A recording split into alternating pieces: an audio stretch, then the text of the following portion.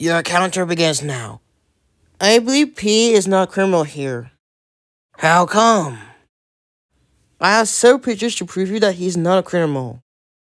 May I see it? Whoa! Let me explain. When you guys took Pea away, I saw something strange. The car. According to me, something was wrong with the car, so I destroyed it.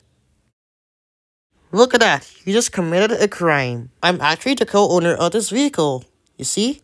When I destroyed that Ford Focus, it was a fake. Yeehaw! Ding.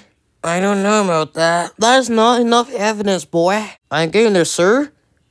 Next, I saw a big hole to the background door. Someone must have used a lightsaber to cut through. Those were on Brickville! Ugh! Sorry. Okay, when I checked that garage, I noticed something was wrong. In conclusion, Pea got robbed. What? He could stage that robbery. I have security cameras, so take that. Payment time. Mm.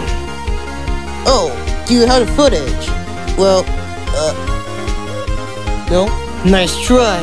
You're going to jail for a long time.